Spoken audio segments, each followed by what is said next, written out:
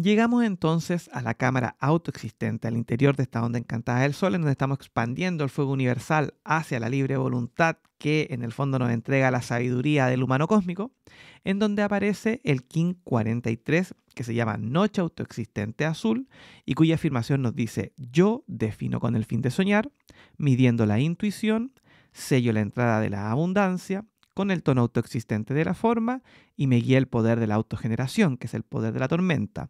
Y aparece el primer portal de activación galáctica al interior de esta onda encantada que nos, reafirma con la afirmación, yo soy un portal de activación galáctica entre mí.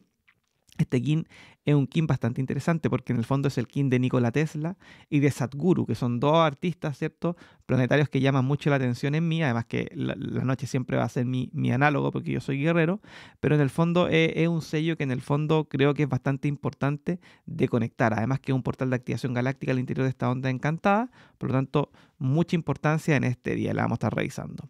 Este King 43 aparece, eh, aparecerá en el antiguo calendario gregoriano en el 19 de agosto del 2024 y eh, en la, el sincronario de 13 lunas de 28 días en Cali 25 de la luna magnética. Em, el tono autoexistente nos invita a identificar cuál es la forma, ¿cierto? La forma de la acción. ¿Cuál es la forma de la acción? Es la pregunta. O qué forma va a tomar el servicio que determinamos el, el día anterior. Y con el tono 4 ya terminamos la primera parte o la parte estructural de esta onda encantada, porque ya abrimos las, ¿cómo se llama? Las cuatro dimensiones del tiempo, lo vamos a ver la onda encantada, pero en el fondo nos invita a ver cuál es la forma, qué es lo que tenemos que hacer, o cómo, o cuál es la conclusión a la que llegamos luego de haber transitado por los primeros tres días de esta onda encantada.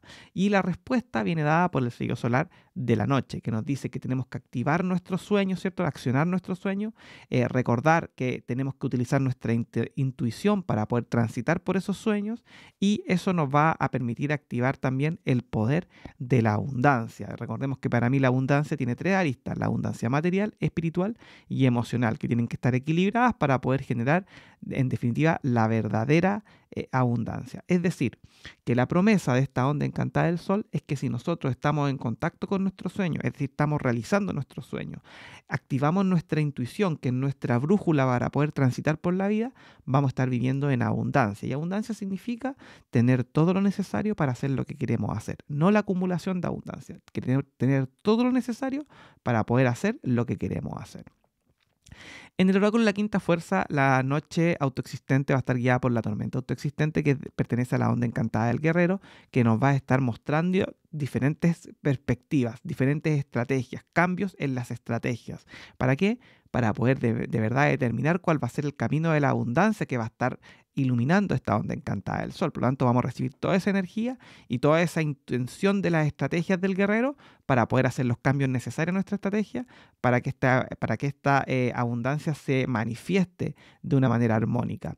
Y en, el, y, en el, y en el análogo, ¿cierto? Vamos a estar apoyados por el guerrero autoexistente que pertenece a la onda encantada del caminante del cielo. Por lo tanto, es la estrategia para poder explorar el espacio, ¿cierto? Y poder entregarnos la forma o las estrategias necesarias nuevamente para que esta este desarrollo de la abundancia, esta forma de la abundancia, se manifieste de buena manera en el momento presente.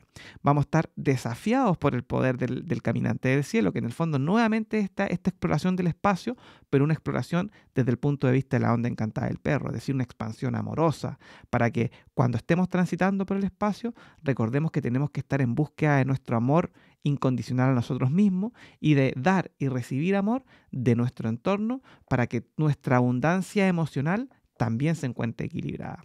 Y finalmente en el poder oculto aparece el espejo, ¿cierto? Eh, planetario que pertenece a la onda encantada de la, de la, luna, para poder mirarnos en el espejo y poder sacar la impureza, ¿cierto? Recordemos que en esta onda encantada del sol estamos madurando, pero al mismo tiempo estamos limpiando la impureza porque es la onda encantada oculta. Por tanto, siempre estar atento de qué es lo que estamos haciendo que en el fondo se convirtió en una carga. Este proceso evolutivo y nuestros proyectos no tienen que ser carga tiene que ser algo que nos fluya, ¿cierto? Algo que se manifieste. Y cuando tenemos el sol y el agua que están enfocados en un mismo proceso, en el fondo hacemos que todos los procesos y todos los proyectos avancen con mayor rapidez. Como mencionaba anteriormente, la cosmología pulsar de la onda encantada llegamos a la tercera dimensión de la mente, donde estamos trabajando nuestro cerebro racional, ¿cierto? Que conecta el tono 4, ¿cierto? De la forma con el tono 8 de la integridad, ¿cierto? Y con el tono 12 de la cooperación, ¿cierto? El tono cristal. Por lo tanto, la forma de la abundancia se va a generar siempre y cuando actuemos con integridad a través de la realización de nuestras manos y podamos ayudar y podamos pasarlo bien, porque en el fondo el mono nos invita a jugar, nos invita a crear ilusión y magia. Por lo tanto, esta abundancia requiere de hacer, pero también requiere de estar en contacto con nuestro niño interior para así poder generar la magia y de esta manera conectar con esta tercera dimensión de la mente que en el fondo nos invita a pensar cómo tenemos que hacer este proyecto para que podamos nuevamente en, el próximo, la próxima cámara, que volvemos a la cuarta dimensión, ¿cierto? Con la semilla entonada, podamos de alguna manera tomar el control, reunir los recursos y comandar este proceso hacia, la siguiente etapa, hacia la siguiente cuarta dimensión, hasta la siguiente parte de la cuarta dimensión eh, del tiempo. En el sincronario de 13 lunas de 28 días estamos en Cali, en Cali 25, perdón, en la mitad de esta heptada amarilla. Nuevamente aparece el cicrono del de dragón resonante, recordándonos en este proceso de inicio que hemos estado revisando los últimos tres días y que esta, esta, esta noche autoexistente nos invita a conectar nuevamente con la abundancia.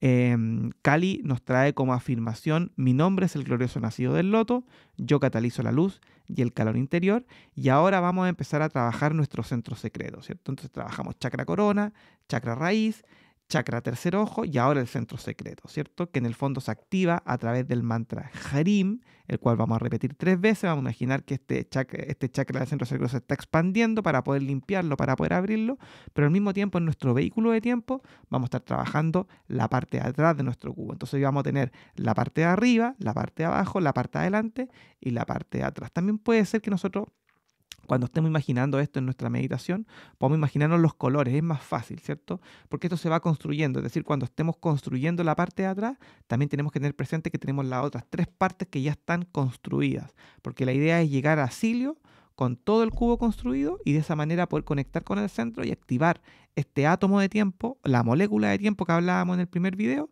y em, de esta manera activar el viaje en el tiempo, ¿cierto? Que en el fondo es viajar hacia adentro, ¿cierto? Y viajar hacia la historia personal y viajar hacia la historia universal a través del centro de la Tierra.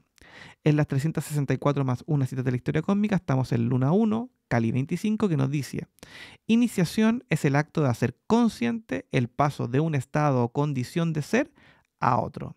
El nuevo conocimiento llega a través del ritual de iniciación, es decir, lo que la ley del tiempo fomenta es hacer consciente lo que antes estaba inconsciente. Y cuando nosotros estamos en ese proceso de hacer consciente lo que antes estaba inconsciente, en el fondo activamos lo que se conoce como la iniciación, ¿cierto? Codificado por el arquetipo del iniciado serpiente para los que son más avanzados.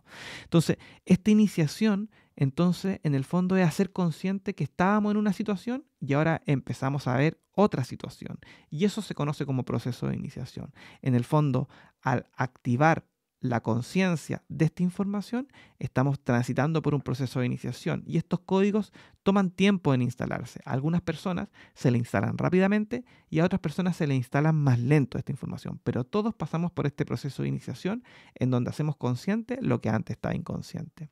Y en los 52 preceptos estamos en el King 43, precepto 43, que nos dice, aprender perdón, aprender a coordinar el ser tridimensional con el ser cuatridimensional es un propósito principal de vida y nos abre a la paranormalidad multidimensional, que es en realidad la norma. Bueno, en la otra, el otro video estuvimos hablando un poco de esto, que en el fondo una de las cosas que hace la ley del tiempo es conectar en nuestro ego tercer tridimensional con nuestro Olon, que es nuestro ser cuatridimensional, a través del concepto de Kim planetario. Estas son las definiciones del encantamiento del sueño, ¿cierto?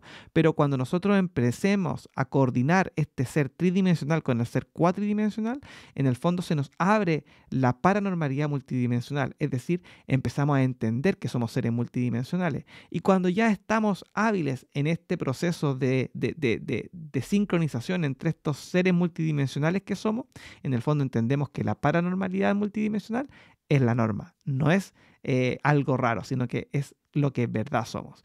Así que eso, por este, esta cámara eh, autoexistente, vamos entonces a revisar el próximo piso.